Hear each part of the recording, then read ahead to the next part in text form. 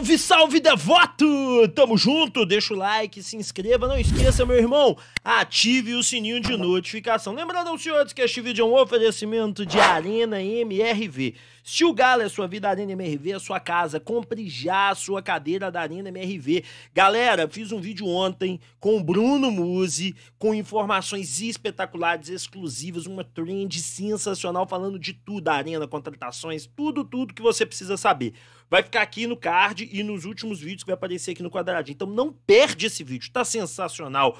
E eu quero falar para você também da SpetBet, porque aqui na SpetBet você ganha muito, mas muito mais. Compre agora, né? É, faça o seu depósito agora na SpetBet, lá tem a melhor ODD do mercado e um detalhe importante, viu? No primeiro cadastro, no primeiro depósito, cadastrou, você faz um depósito do valor dobrado. O link tá na descrição do vídeo. Não perde tempo. Limitado até 200 reais e ó, leia as condições. E Banco EFI, meu amigo, Banco EFI é sensacional. Olha, nós temos as melhores taxas e tarifas no mercado. Ferramentas exclusivas de controle de gasto. Uma rede ampla com descontos pelo Brasil afora. Não cobramos taxa na emissão do boleto. E o Open Finance é o mais moderno do Brasil. O link encontra-se na descrição do vídeo pessoa física, jurídica e meia, atendemos todos vocês. O empresário tá pagando caro? Vem negociar comigo, tenho certeza que você irá gostar do Banco EFI. Galera, vamos falar de Galo, tem muito. Nós vamos falar de arbitragem, venda de ingresso, da escalação, do Kardec, nós vamos falar de Cudê, é. Nós vamos falar aí de venda de jogador de Hermina, muita informação e conteúdo. E vamos começar com arbitragem. Senhoras e senhores, vamos falar sobre a arbitragem do jogo. Separei aqui o nome do nosso amigo, do nosso árbitro, é o Vinícius Gomes do Amaral, tá bom? Vinícius Gomes do Amaral, cara, ele é filiado à Federação Mineira desde 2023, tá? E vai fazer o seu quarto jogo pelo Campeonato Mineiro. Na atual edição do ele apitou 4 a 0 pro América sobre o Pouso Alegre, tá bom? Depois ele apitou 1 a 1 que foi Democrata Atlético em Valadares. Depois ele apitou 1 a 0 Patrocinense contra o Atlético. É um árbitro razoável, tá? Não é um árbitro com nada demais, não é um árbitro assim espetacular. Não, é um árbitro. Vamos ver como é que ele vai se comportar, mas com várias dá mais segurança, não é mesmo? Os auxiliares, gente, ó, Bandeirinha, Belo Horizontino, Felipe Alan Costa e o Magno Alto. Já conhecemos dois, né? No comando do VAR, Mineiro também, o Marco Aurélio Augusto Fazecas. É isso daí. Bom, arbitragem, gente, a gente não pede ajuda, a gente não pede que, que. A gente só pede o quê? Seja igual para os dois lados. Deu cartão amarelo porque o cara fez isso aqui, dá aqui. Árbitro é assim, gente. Tem árbitro que deixa o jogo correr, deixa a pancada comer, tem árbitro que para o jogo o tempo todo. Cada árbitro é de um jeito. O bom mesmo, o bom, na minha opinião, é o seguinte: você apitar faltas de verdade, não qualquer toquinho na bola, não qualquer coisa, tá certo? E repreender qualquer falta e qualquer enrolação. Enrolou, amarelo. Fez falta dura, amarelo para o jogo fluir, cara, que aí o futebol acontece. Eu tenho essa percepção, pelo menos. E você do outro lado da tela, tá animado pro jogo de hoje? Transmissão aqui, viu? Transmissão aqui do Hoje Tem Galo. Imperdível, não perde. Começa duas e meia da tarde. Bora pro próximo tema. Vamos falar dos ingressos que estão à venda, né, senhoras e senhores? Aos 3 minutos e 45, porque a galera gosta da minutagem. Bom, Vamos falar aí que o Atlético já vendeu, senhoras e senhores, segunda informação. Eu peguei três diferentes. Um tava falando, isso quando eu fui gravar era 10 horas da noite, 25 mil ingressos, tá? Outro tava falando 28. Mas eu perguntei a uma pessoa dentro do Atlético e ela falou que já vendeu mais de 32 mil ingressos, tá? Então o site, a Itatiaia acha que tava até falando 30, tá? Mas já vendeu 32 mil ingressos. Casa cheia, gente. Nós vamos ter casa cheia, vai ser bem bacana, né? É, parece que um setor vai ficar fechado, um setor só que vai ficar fechado. Eu tô animado para esse jogo. Eu acho que vai ser um baita jogo, um jogo muito legal. Né? O América tá muito bem, o Atlético, meu amigo, é quem tem que ficar de olho. Sacou? Então, assim, se você estiver procurando ingressos ainda, se você estiver na luta pelos ingressos, eu acho que se você chegar lá, você compra na mão dos cambistas, tá? Vai, não vai ter esse problema, não. Mas já vendeu bastante ingresso. Então, você aí do outro lado da tela, você vai pro jogo, você vai ficar em casa, chupar na chupetinha do dedo, não, vai pro jogo, rapaz, e curte. Se você, agora, se você não tiver jeito, tá fora, não tem como, aí o que, que você vai fazer? Liga a TV, tira o som, sincroniza com Hoje Tem Galho e assiste com a gente, beleza? Bora pro próximo tema, bora. E até porque nós vamos estar direto do estádio, muito mais rápido. Bora lá, vamos falar de escalação. Senhoras e senhores, vamos falar da escalação do jogo de amanhã. Afinal de contas, eu hoje eu não fiz o meu mapinha, tá? É, por quê? Porque eu esqueci tá certo? Quando eu estava gravando, agora eu lembrei do meu mapinha, mas eu peguei aqui a escalação que o Vadson colocou. Tá na tela, mas eu vou ler, tá? Ele vai de a escalação provável, tá? É Everson no gol, Nathan Silva e Hever. Otávio, Vitinho ou Saravia. E eu tô achando que vai Vitinho, tá? Rubens na esquerda. Iorra, Igor Gomes e Zaratio, Vargas e Hulk. Senhoras e senhores, vou falar um negócio para vocês. Everson no gol normal. Tirando a dupla de zaga e o Otávio, ó, é, o time titular do Atlético, esse time aqui é muito bom. Esse time aqui vai surpreender, tá? Claro que nós vamos ter um Zarate ainda fora de forma e tal, mas eu acho que esse time é sensacional.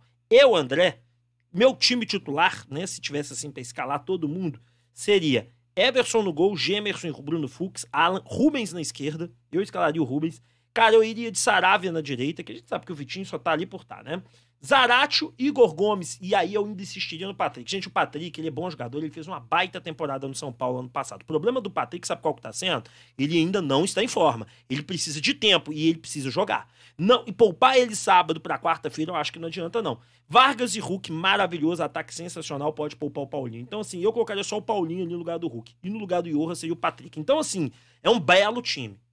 Temos total condição de vitória tá? É, no banco, aí nós vamos ter o Matheus Mendes, na a zaga reserva Gemerson e Bruno Fux, na lateral direita Mariana, na lateral esquerda Dodô, Alan, Meio de campo, nós vamos ter o Edenilson, nós vamos ter o Paulinho e nós vamos ter o Patrick. No ataque, com toda certeza, vai ter é, é, Paulinho, é Pedrinho, né? Paulinho. E aí você pode ter o Ademir, você pode ter o Sacha, você pode ter o Pavon. Eu acho que ele vai levar dois e não vai levar um goleiro. Eu acho que no final das contas ele vai levar Pavon e vai levar mais um. Vocês vão começar a reparar que vai começar a rodar jogador nesse time do Atlético. Vai começar aquela atacanteada lá, que é tanto de atacante fica de fora, né? Vai começar a acontecer isso. Bom, é vida que segue, não é mesmo? Bora pro próximo tema que eu quero falar de Allan Kardec. Senhoras e senhores, vamos falar dele, de Allan Kardec, o homem espírito.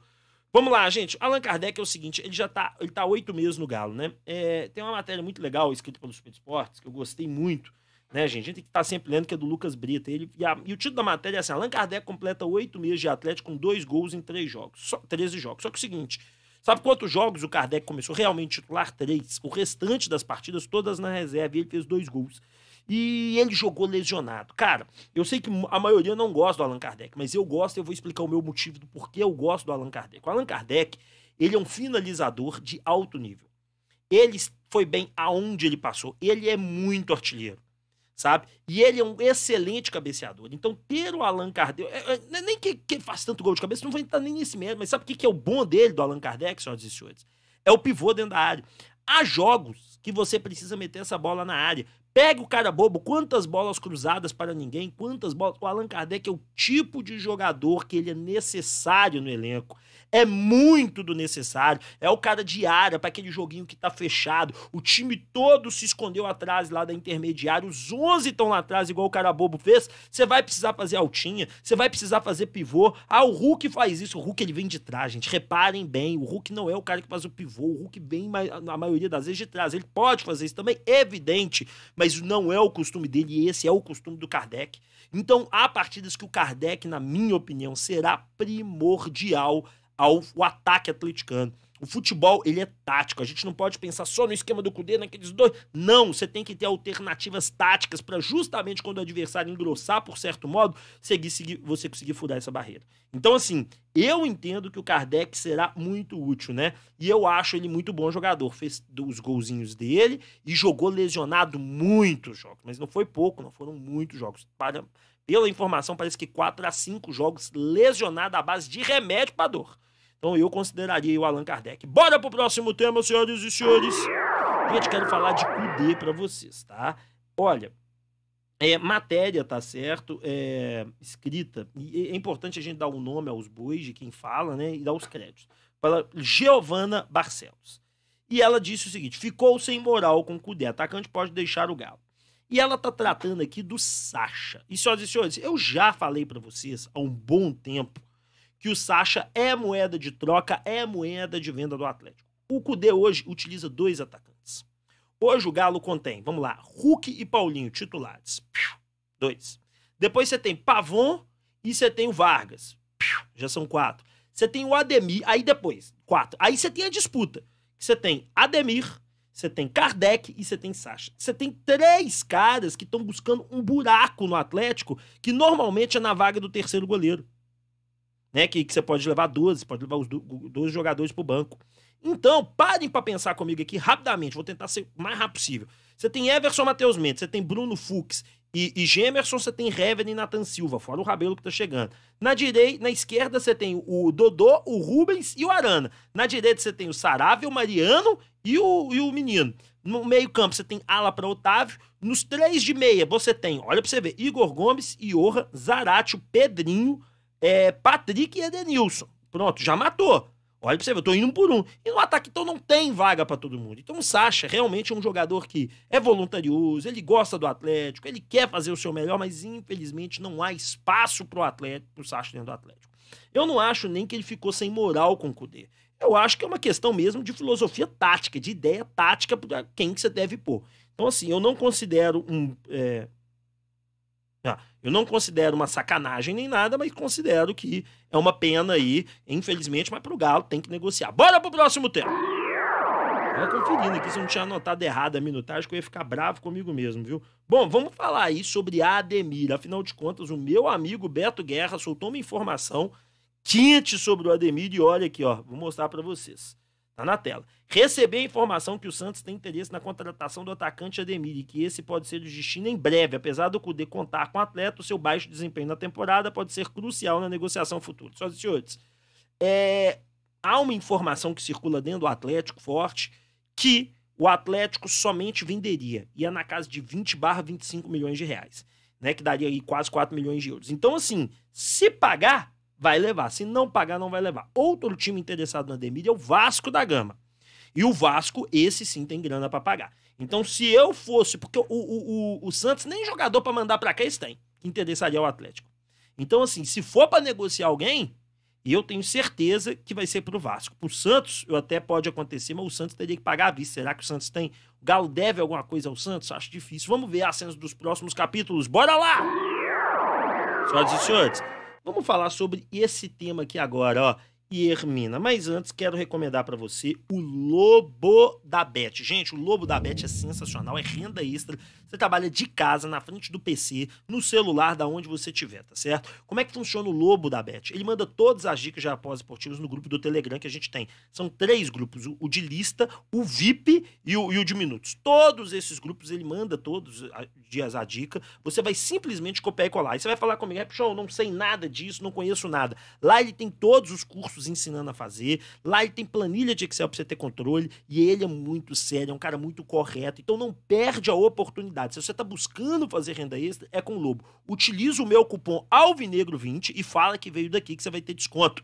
Tá certo? E entra no grupo VIP, que esse é que vale muito a pena. O link tá na descrição, Lobo da Bet. Senhoras e senhores, Matéria que veio do Bola VIP, tá? Por isso que a gente tá falando, porque muita gente já foi informado. Quem tinha de Minas chega ao Galo e Alvoroço com o empresário pode ser o bola fora. O que, que acontece? Senhoras e senhores, algum tempo atrás o Atlético teve interesse no Hermina, né? Mas ele estava no Everton, contrato gigantesco, salário altíssimo, tá certo? E ele vem sendo um reserva lá de longa data, de longa data. O Galo teve interesse. Mas sabe quem que empresaria, quem que empresaria ele?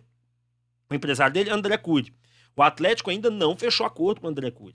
Então, eu entendo, e isso é a minha opinião, que seria um negócio bem difícil por conta do André Cury. Mas o André Cury, pagando à vista, ele fecha negócio. O André Cury não joga dinheiro no mato. O André Cury não é burro. Se chega, pagou o que ele quer, ele, ele ajuda a fechar o negócio. O problema, sabe qual que é? É real. O, o, o Mina tem mercado na Europa. O Mina tem mercado em, em, em, em locais que manteriam o alto salário dele. Ele pode não estar tá num time A da Europa, mas ele pode ir para um time nível B, o Ajax, esses outros times que pagariam para ter ele lá. Então eu não acredito no Emina no Atlético. Há uma possibilidade, sim, porque o Atlético já demonstrou interesse nele, e real, de, de, de entender, ó, ele vai ficar lá mesmo, ele não quer sair agora não, quanto que ele topa ganhar, topa vir pro Brasil, o Atlético já sondou a situação. O problema é que eu acho que ele não abaixa o salário. Se ele abaixar o salário, é o jogador perfeito. Ah, meu atleta tá cheio de zagueiro, irmão. Vai sair zagueiro agora no final do ano. O Natan não tá interessando ao Cudê. O Hever aposenta. Ou seja, vai abrir pelo menos duas vagas no Atlético. Pelo menos duas. Isso não aconteceu uma venda, não aconteceu de alguém jogar muita bola. O Bruno Fux é só até o final do ano. Então o Atlético chega nessa janela, ele tem que aproveitar as oportunidades. É esperto é quem aproveita. Quem deixa passar que é bobo. Então é uma oportunidade de ouro que o Atlético pode aproveitar. Então é, é, é isso, entende? Vale muito a pena. O Atlético tem sim, mostrou já interesse no passado no jogador, mas sendo muito sincero, sincero, a todos que estão questionando isso por conta dessa matéria, acho complicadíssimo, mas não é nem por conta do André Cury, que já dificultaria um pouco, mas eu acho que daria. Pagou à vista, resolve. O problema é salário. Bom, senhoras e senhores, um abraço para vocês, fiquem com Deus. Daqui a pouquinho tem um vídeo rápido por volta do meio-dia. E mais tarde, hoje tem galo direto do Mineirão, duas e meia da tarde. Valeu, tamo junto, tchau e fui!